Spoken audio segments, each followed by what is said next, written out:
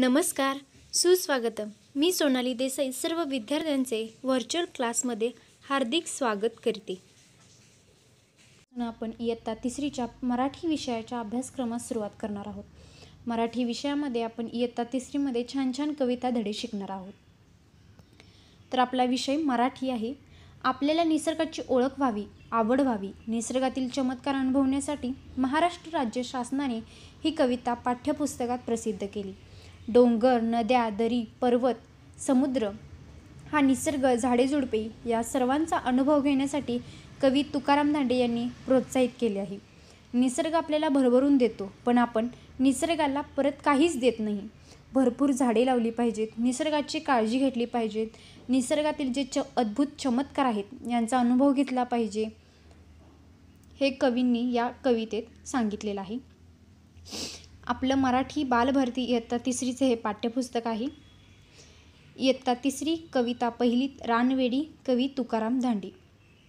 तर प्रथम कवीविषयी माहिती जाणून घेऊया. निसर्ग कवी रानकवी म्हणून तुकाराम धांडे यांची ओळख आहे. निसर्गात राहणारे रानावनात फिरणारे निसर्गाशी समरस झालेले. तसेच निसर्गात किंवा रानात जे काही मिळेल त्यावरच आपली उपजीविका भागवणारे असे हे कवी. त्यांचे अनेक कवितांचे लेखन हे निसर्गावर आधारितच आहे. त्यातलीच ही आजची कविता तिचे नाव आहे रानवेडी. जगण्याची कला शिकवणारा रानकवी अशी तुकाराम धांडे यांची ओळख आहे. तुकाराम धांडेंच्या रोजच्या जगण्यातले जेव्हा शब्द प्रकट होतात तेव्हा ती कविता अधिकच आपलीशी वाटते. अत्यंत साधी राहणी पायजमा पांढरा शर्ट केस थोडे वाढलेले दोन्ही बाजूंनी वर गेलेले. अगदी अब्दुल कलामांसारखे बरं का? पायात चप्पल आणि खांद्याला शबनम किंवा एखादी जुनी पिशवी असा हा कवी रानवाटा धुंडाळतो आणि जगण्याचं मर्म शोधत कडेकपाऱ्यांचा होऊन जातो. तर आपली पहिली कविता रानवेडी पाहूया. तर कवितेचं प्रथम ध्रुवपद पाहूया. पोर डोंगरावर भाळली त्याच्या नादी लागून या. अख्ख्या रानात पांगली पोर डोंगरावर भाळली. पोर म्हणून इथे एक लहानगी मुलगी कवींनी घेतलेली आहे. ती लहानगी मुलगी डोंगराला कशी भुलली आहे कशी भाळली आहे इथं असं कवींनी सांगितलेलं आहे. डोंगराच्या नादी लागून ती सगळ्या रानात आनंदाने हुंदडली आहे फिरली आहे. तर यातलं आपण शब्दार्थ शिकूया. पोर म्हणजे मुलगी. डोंगर म्हणजे पर्वत गिरी नग. भाळली म्हणजे मोहित झाली किंवा भुलली आपण म्हणतो किंवा भाळली असं सुद्धा म्हणू शकतो. नाद म्हणजे छंद. अख्ख्या म्हणजे सर्व संपूर्ण. रान म्हणजे वन अरण्य जंगल कानन. पांगली म्हणजे फिरली किंवा संचार केला. दुसरं पहिले कवितेचं आपण पाहूया आता. कडवं. रान गवताची फुलं तिच्या कानामंदी डुलं. रान गवताची फुलं तिच्या कानामंदी डुलं. अन चाहीचा मोहर गळ्यामंदी गळसर. रानगवताची फुलं तिनं तिच्या कानामध्ये डूल करून घातलेले आहेत. जे रानगवताचं फूल आहे त्या रानगवताच्या फुलाचं तिनं काय केले? डूल केले कानात घालण्यासाठी. आणि ते कानातलं डूल तिचं डुलू लागलं आहे. अन चाईचा मोहर दुसरं कडवं पाहूया आपण. गाई दांडाच्या वाट्यानं चाली यंगत नेटानं. डोंगरातून वाहत खाली येणाऱ्या पाण्याच्या वाटेने गायी डोंगरावर जोमाने चढत चाललेल्या आहेत. असं कवींनी सांगितलेलं आहे. ढोल ढगांचा वाजला नाच मोराचा पाहिला. ढगांचा गडगडाट झाला जणू ढगांचा ढोल वाजला आणि या सगळ्या दृश्यात मुलीने रानात मोराचा नाच पाहिलेला आहे. हा मोराही त्या मोराचा नाच मुलीने या दृश्यावे पाहिलेला आहे. आली पाहूस पहाळी तवा गर्दी कपळाली. पावसाची मोठी सर येताच ती डोंगराच्या कपारीत आडोशाला लपली. पावसानं भिजवली तरी उन्हात वाळली. परत या मोठ्या पावसाच्या सरीत मोठी मोठी सर आलीच तेव्हा पुन्हा फिरून ऊन पडले. तेव्हा मगाशी जेव्हा ती पावसात जरी भिजली तरी ती पुन्हा उन्हात सुकली. गाय म्हणजे धेनू किंवा गो किंवा गोमाता. दांड म्हणजे पाणी वाहते अशी वाट किंवा पाटाचे पाणी. वाट म्हणजे रस्ता. मार्ग पथ. यंगत म्हणजे चढतात. नेटाने म्हणजे जोशात हिमतीने नाच म्हणजे नृत्य. मोर म्हणजे मयूर. तवा म्हणजे तेव्हा पहाळी म्हणजे पावसाची सर. गर्दीक डोंगरातील कपार. वाळली म्हणजे सुकली. अशी ही कविता आपली रानवेडी ही पाहिलेली आहे. तर आपण ह्या कवितेची चाल पुढच्या भागात शिकूया. धन्यवाद.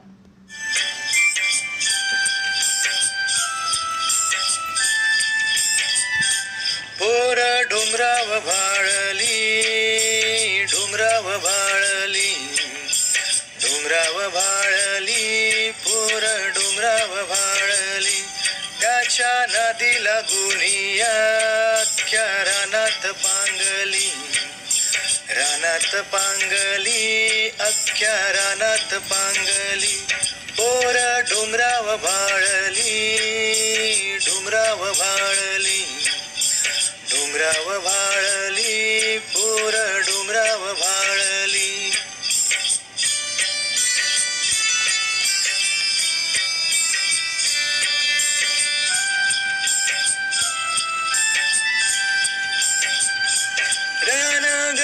हाताची फुल तिच्या कानामंदी डुल.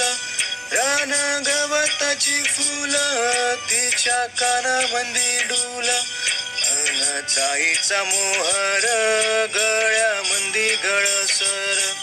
अन चाईचा मोहर गळ्यामंदी गळसर.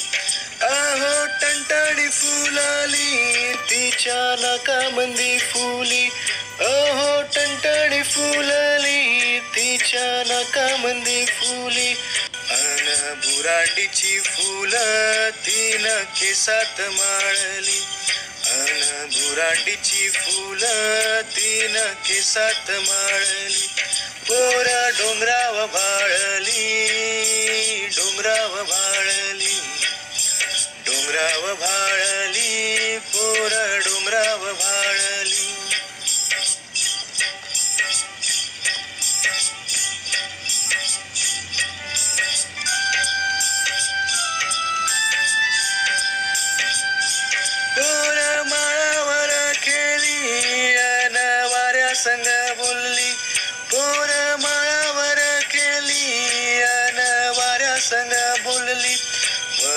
पारंबीचा झुला तिचा गेला आभाळाला.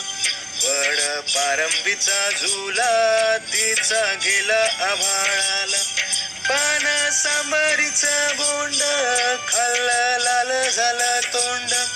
पान सांबारीचं बोंड खाल्लं झालं लाल तोंड.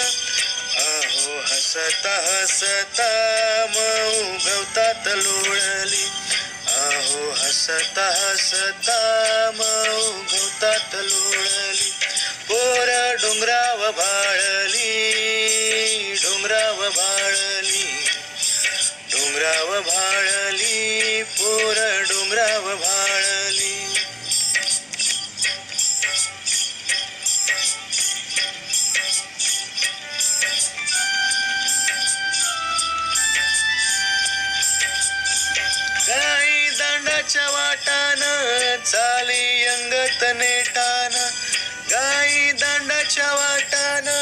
चाली अंगत नेटान ढोल ढगाचा वाजला नाच मोराचा पाहिला.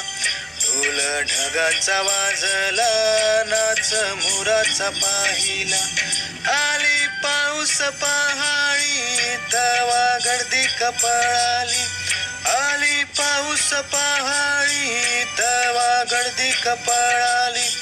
पावसान भिजवली तरी उन्हात वाळली.